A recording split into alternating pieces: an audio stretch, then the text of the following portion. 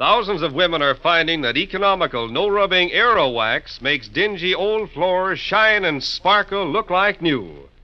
Just apply, and in six to nine minutes it dries to a hard, lustrous waxed finish that saves countless scrubbings and polishings. Yet Aero Wax costs only 25 cents a pint at grocery, hardware, drug, and chain stores. Get Aero Wax, A E R O W A X.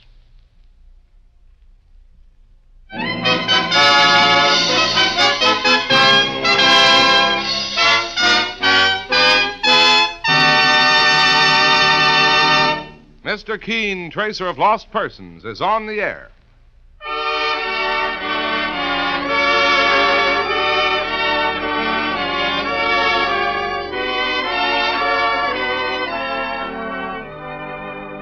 Ladies and gentlemen, the makers of Kolynos toothpaste present Mr. Keen, Tracer of Lost Persons, one of the most famous characters of American fiction and one of radio's most thrilling dramas. Tonight and every Thursday night from 7:30 to 8 Eastern Wartime, the famous old investigator will take from his files and bring to us one of his most celebrated missing persons cases.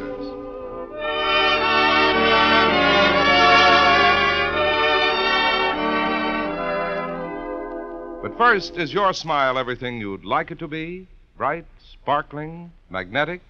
If not, try the new Kolynos toothpaste thousands are raving about. It's a high polishing toothpaste that acts like a jeweler's polish in removing tarnish from silver.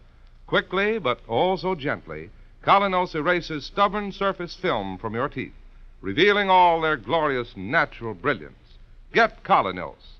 K O L Y N O S. Kolynos toothpaste at your drugstore tonight.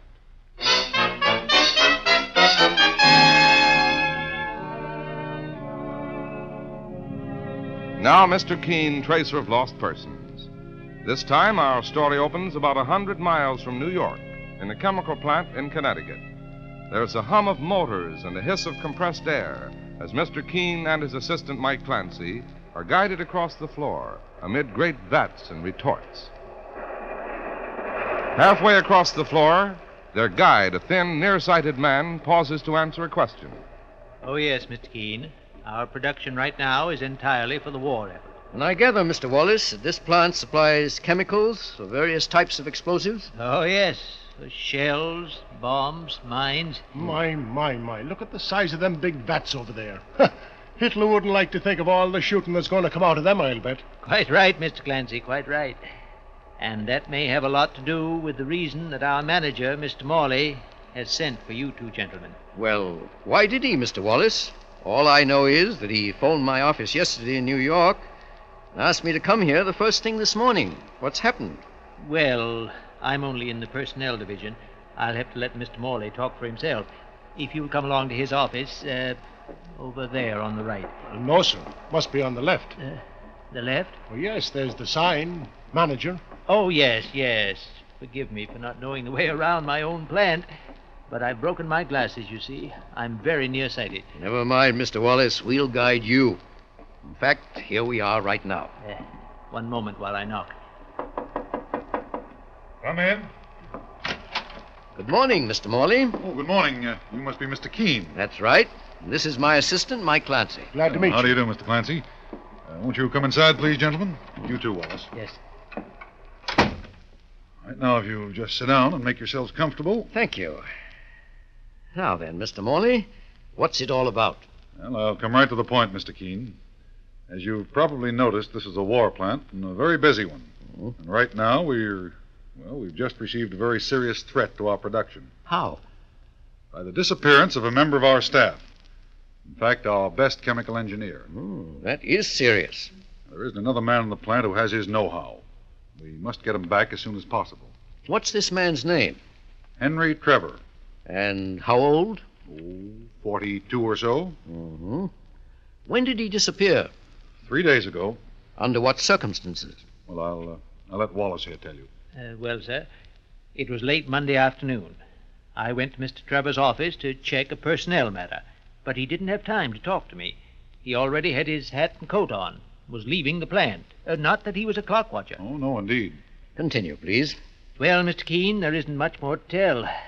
Mr. Trevor left the plant and just never returned. You've checked at his home? Well, he has lodgings, but he never slept in his bed that night. hmm Was he in any sort of private difficulties? No, none at all. Unless Wallace here has an idea. Oh? What is it, Mr. Wallace? You've heard how valuable Mr. Trevor is to us. Obviously, if anybody stands to profit from his disappearance. Oh, are you hinting that his disappearance may be the work of enemy agents? Yes, Mr. Keen. Glory be. I don't know whether I'm permitted to tell you, but uh, perhaps Mr. Morley. Oh, I think I can refer to it in a general way. Mr. Keen, this plant has been working on an important new device. Really? And Trevor was handling all the experiments. Well, that is important. And what's more, Mr. Keen, Yes, Mr. Wallace. when I went to his lodgings to make a check, I found that several strangers had taken rooms there recently. Really? Oh, we'll have to look into that. But first, I'd like a few more facts on Trevor's professional background. Well, Wallace can give you all that, Mr. Keen. Yes, in fact, I've dug up his folder from my files. Oh, if you don't mind reading it to me. Oh, dear me, my glasses. I'm half blind until they finish making me a new pair. I'll read it myself then.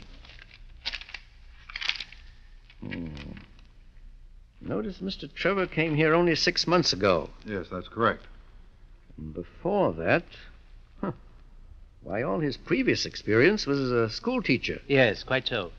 Six months as chemistry instructor in the Tappingworth School for Boys. Before that, six months at the Jones Walton School. And then sick for a year in Nevada. Lung trouble, he said. But he was completely cured. And before his illness, 15 years at the Morton Latin School. This strikes me as very odd, Mr. Morley. What does? Here is a man who was content for 15 years to stay in one place, and then he becomes ill. When he recovers, he shows an extreme restlessness. He rushes from one job to another. Well, he told me that after he recovered his health, he started looking for better jobs. And here's another point. You say he was your best chemical engineer, Absolutely. but all his past experience was as a teacher. Something very much different. Well, Mr. Keen, he had a college degree in chemistry, so Hmm. we were mighty glad to have him. What with the shortage of technicians since the war. I still think that the only explanation is enemy agents. Well, possibly. Meanwhile, thanks for the information, Mr. Wallace. I'll pay a visit to his lodgings. Whatever you wish, Mr. Keen, but just find Trevor. We need him. I'll do my best. Come along, Mike. Okay, boss. If you'd like me to show you out. It won't be necessary, thank you, Mr. Wallace. Good. I have some other matters to discuss with Mr. Morley. Good day. Good day. Good day. I'll let you know just as soon as anything develops. Well, thank you, Mr. Keen. Well, boss, what do you think? First, let's get some facts, Mike, and then we'll think. Oh, you there, Mr. Keen? Why, boss, somebody's calling you. Mr. Keen? Yes, that girl over there by the machine. Yes, young woman. Mr. Keen, I heard Wallace mentioning your name when you came by before. You're the famous investigator, aren't you? Yes. Well, I guess you're up here to look for Mr. Trevor. You know about his disappearance? Why, sure, everybody knows. Well, do you have some information that might help me? Boss, I think she means, What do I mean? well, somebody stuffed him into one of them big vats. no. What I wanted to say is if you could get interested in women's hats, Women's hats? you might find out a whole lot more than you know right now. What do you mean by that? Uh, stop that machine for a moment. Sorry, I got work to do. Oh, please, this is important. I told you all I can. Stubborn little devil. Please, young woman, listen to me. No use, Mike. Let's get out into the hall. Women's hats. What does she mean by that? Mike, I have half an idea. On our way through the town, we stopped once to ask directions. Sure, in a cigar store. Did you notice what was next door? Oh, yes. A hat store. A very smart looking little place. Unusual for a town like this. You think that's what the chick meant? Let's find out. Here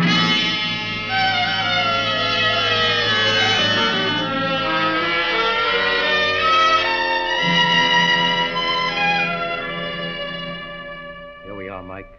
This is the place. And there's the owner's name on the window. Mrs. Lydia Groves. This is only a hunch, but I'm going to play it for all it's worth. Okay. Hmm. Nobody here. There she comes now from the back room.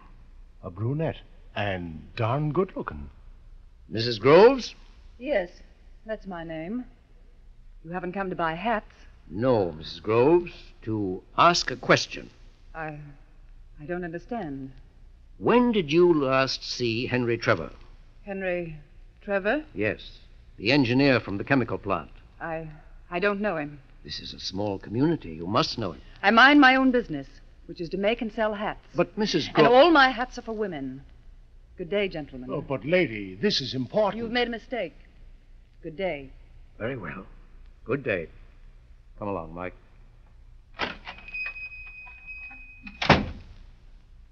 Boss, do you think she was telling the truth? No, Mike, I don't. Enemy agent? Mike, in my long life, I found out that a beautiful woman can cause plenty of trouble without being anybody's agent. What this fellow Wallace said We still need more information. The only way to get it, How, sir? let's circulate around town and dig up every bit of gossip that we can. You hang around the lunch wagons, the gas stations. As for me, I'm going to get a haircut.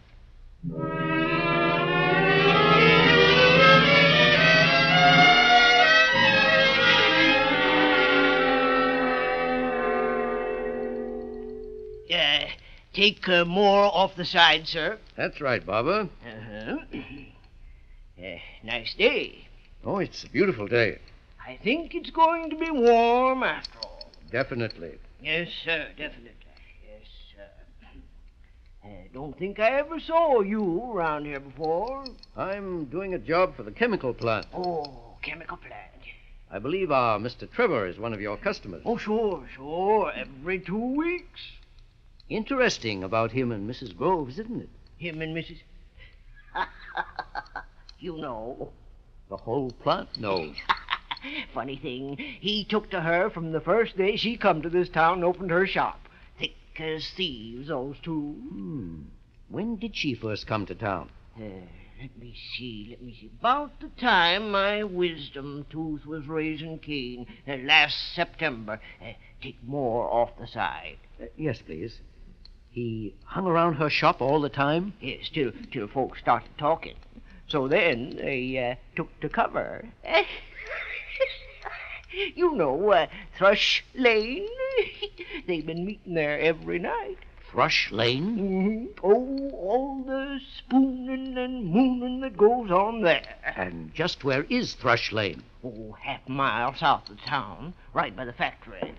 What, uh, say, uh, what are you doing? Uh, you, you, you can't get up from the chair yet. Here's your money. I'll see you later. Uh, but I only done one side of your head. Uh, come back.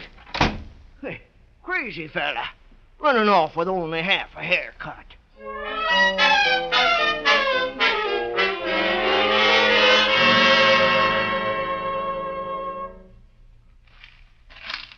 No, boss, there's nothing in the underbrush over here. Well, come over to this side. Oh, Mr. Keen, so sure we've been at it for three hours already. I know, Mike. This is our only real lead. Remember what the barber said.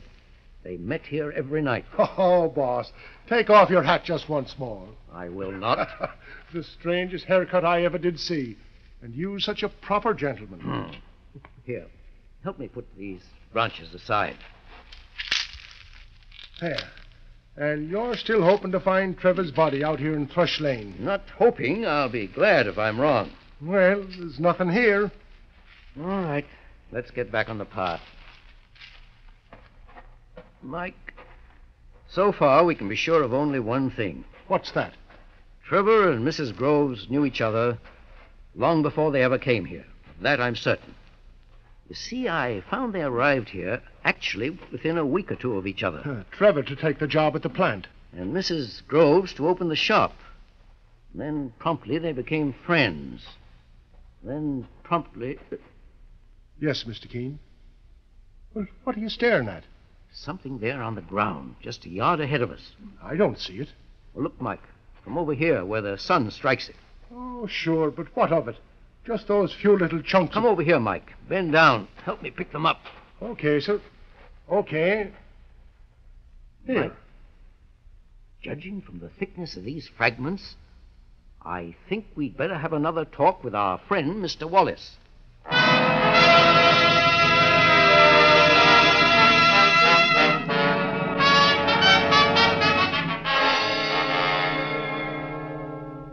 And now, for a moment, while Mr. Keen and Mike examine their surprising find.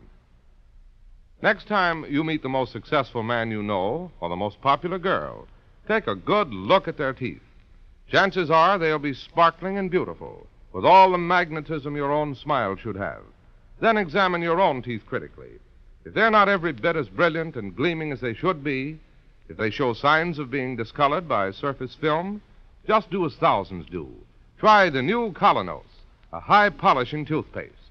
Safely, speedily, Kolynos helps brush away masking surface film, revealing the natural luster and brightness of your teeth. Your druggist has an ample supply of Kolynos on hand, so get a tube tonight and see what wonders it may do in helping you to add to the charm and appeal of your smile. Remember the name Kolynos, K O L Y N O S. Kolynos, a high polishing toothpaste. And now back to the chemical plant where Mr. Keen has a quiet talk with the helpful Mr. Wallace. Yes, Mr. Keen? Is there something more you wanted to know? One or two little details, Mr. Wallace. Fire away, Mr. Keen, fire away. Were you aware, Mr. Wallace, that Henry Trevor was very friendly with a Mrs. Groves? I wouldn't know about that, sir. Well, did you ever notice what route Trevor took when he left the factory at night? Oh, uh, back to his lodgings, I suppose. By way of Thrush Lane? Didn't you ever notice whether he made a practice of going through Thrush Lane? Did he? I never had any occasion for walking there myself. No? Wallace, when did you break your glasses? My, my glasses? Why, several days ago. Where? Right here, in my office. Pretty thick lenses, I gather. Oh, yes, yes, sir. That's why I'm having trouble getting them replaced. Wallace, take a look at these. I mean, these fragments in my hand. Well, how can I, without my glasses? Take them into your hand. Feel them. Bits of broken glass. Very thick bits. The kind of glass that might be used in the spectacle of a very nearsighted man. I don't know what you're driving at, sir. I found these 20 minutes ago in Thrush Lane. Well, the world's full of nearsighted men. Are you sure one of them didn't follow Henry Trevor into the woods last Monday night and overhear his conversation with Mrs. Groves? I, I'm sure that this one did not. Are you quite finished, sir? One thing more. Do you have any photographs of Henry Trevor in your files? You must have. Yes, sir. I'd like to have one. At once.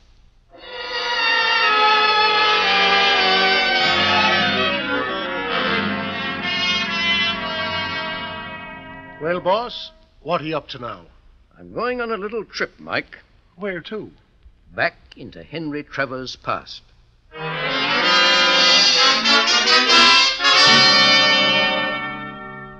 Dr. Grange, you are the headmaster of the Tappingworth School. Oh, yes, for 20 years. Do you recognize this photograph? Why, yes, this is Henry Trevor. He taught chemistry here last year. Excellent grasp of his subject, too. I wish he'd stayed. What can you tell me of his background? Why, he came here from the Jones Walton School with the usual references. That's all you know? Well, yes, Mr. Keen. Thank you, Dr. Grange.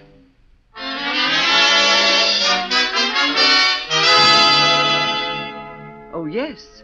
Yes, Mr. Trevor taught here for one term at the Jones Walton School. He got along well, Miss Mott? Yes, our girls simply adored him. Where had he been before? Uh, he'd been sick, I believe, for a year. Before that, the Morton Latin School. Look at this photograph, please. Is that a good resemblance? Hmm. Perfect.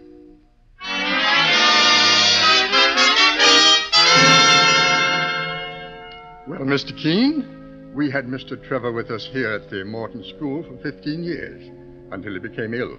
And then he went to Nevada for his health, Dr. Hines? Uh, quite so. You never heard from him again? Only when other schools asked us about his references. I wonder if, uh, if you would have a photograph of him. Well, we should. Any one of the yearbooks. Here, let me see on this shelf up here. Ah, oh, yeah, the yearbook of 1940. That will do very well.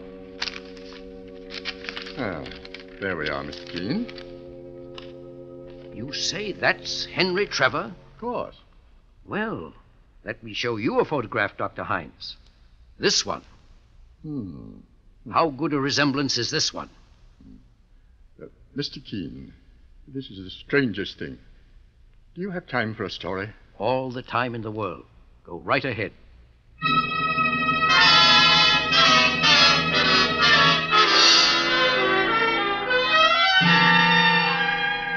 Well, Mr. Keen, I began to wonder what had happened to you. I've been away, Mr. Morley, for two days. Any luck? Any trace of Trevor? Yes and no.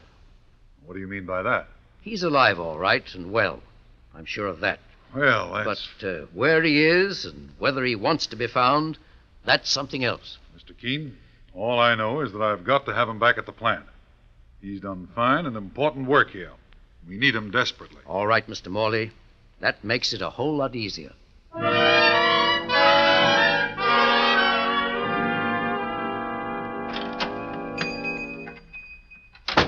Mr. Keen, it's you again. Yes, Mrs. Groves. Mr. Keen, if you've come to plague me with questions again. No. No more questions. Because I know the answers. I. I'm not feeling well. Please come back some other time. Now is the best time. You see, Mrs. Groves, I've just finished tracing back the history of Henry Trevor. Or rather, the man who called himself Henry Trevor. I don't understand. The real Henry Trevor died two years ago in Nevada. But I told you that I know nothing about it. And the moment he died, his identity was borrowed by someone else. In fact, by his brother, John Trevor. Oh, Yes, there were two Trevors, John and Henry. Both were trained in chemistry. Henry became a teacher, John became an engineer. John, the engineer, was very successful, made heaps of money. But his wife spent it even faster than he made it. I know nothing about it. In the end, this led John to embezzle $5,000 from his company. He and his wife ran away, wandered all over the country, used up every cent they had. Because there was no job that John could apply for without giving himself away. Interesting, but I don't see how. there's a- Finally, two years ago, the real Henry Trevor, the quiet schoolmaster, died. Immediately, John saw a chance to borrow his brother's identity and make a new start. And so John became Henry. Uh, how. How did you find all this out? by going back to the Morton School. The headmaster remembered the scandal about the embezzlement very well, and how much sorrow it caused Henry at the time. All that I had to do was to show him the photograph of the man who claimed to be Henry. Quite simple, really, Mrs. John Trevor. What did you call me? You are the wife of John Trevor, the man I've been asked to find. Oh. I. I don't suppose there's any use now to deny it. None. Yes. It was my extravagance that caused the trouble. I wanted things John couldn't afford. Believe me, I regret the whole thing. We we've struggled so hard to live it down. But Wallace found out, the man at the chemical plant. Yes, by by following us to Thrush Lane several times and overhearing our conversation. And then he tried to blackmail your husband? Yes. And last Monday night, after John left me, Wallace came along again to ask for money. Five hundred dollars. Otherwise, he would expose John. But your husband refused. Yes, he, he began to scuffle with Wallace. But then he became frightened and decided it was no use. He decided he'd have to run away once again. Where is he now? Don't ask me. Please don't. You must tell me. No. He's my husband. And this was all my fault in the first place, Mr. Keen. It was my foolishness and vanity that caused John to embezzle the money. Oh, please go now. But Mrs. Trevor. I beg you, please The go. telephone. Mrs. Trevor, the reason that you want me out of here, would it be because your husband is right now calling you on the telephone? I have nothing more to say. Pick up the phone, Mrs. Trevor. Answer it. But, Mr. Keen. And tell your husband that I want to see him in my office in New York. Any time tomorrow, if he can make it. I. I don't know. Please do as I say. You won't regret it.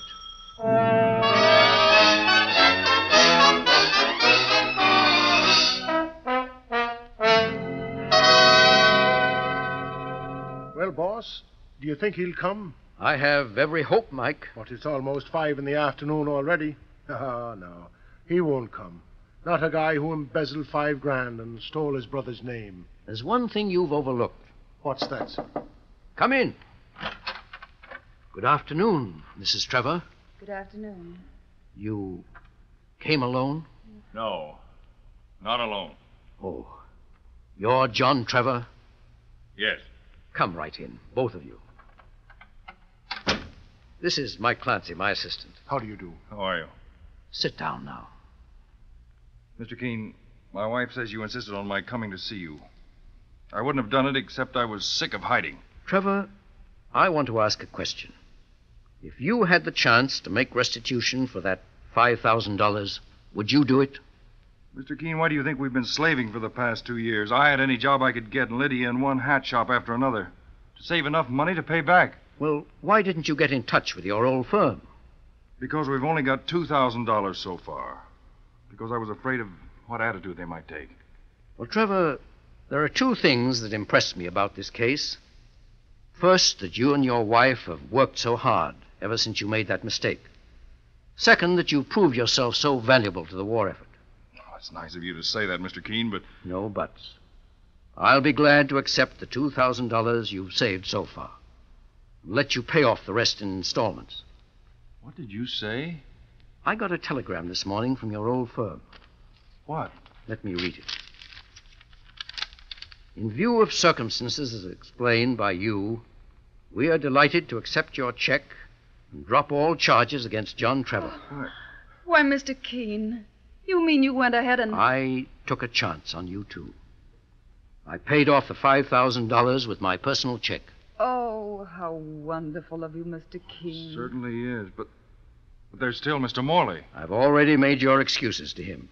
Well, what did you tell him? The truth. The best excuse of all.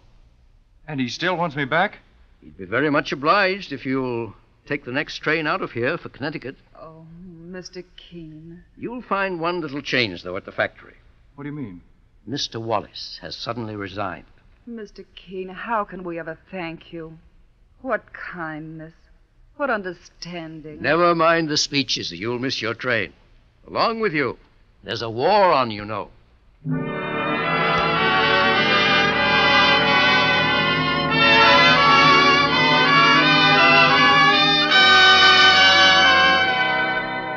Listen next week at the same time as Mr. Keen brings us the case of murder in the air.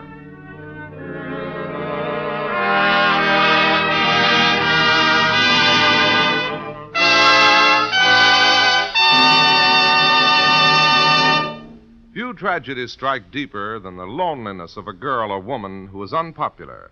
A girl who dresses smartly, looks pretty, is gay and charming, but whose teeth, when seen at close range, rob her of the very charm she strives for. And the same thing is true of the man who must sell himself socially and in business, and whose teeth create an unpleasant effect on others. If you have the slightest suspicion that your teeth are holding you back from social or business success, do as hundreds of thousands have recently done, and that is start cleaning your teeth with the new Kolynos, a high polishing toothpaste. Its action is like that of a jeweler's polish, removing tarnish from a piece of silver. Try it just once, and then you'll know why people everywhere are changing to this new high polishing toothpaste, Kolynos, and learning the meaning of teeth that can gleam and shine, that give your smile new personality and charm. You can get the new Kolynos in any drugstore tonight. It's spelled K O L Y N O S. Kolynos toothpaste.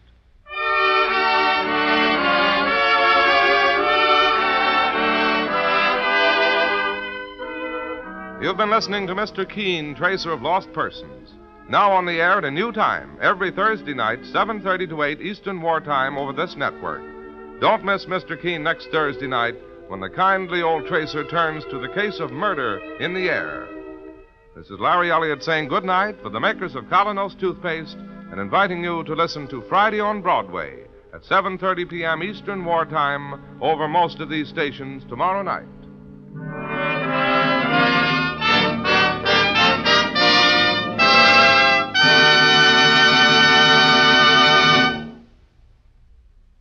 There's a wonderful new way to make floors sparkle like new in six to nine minutes flat.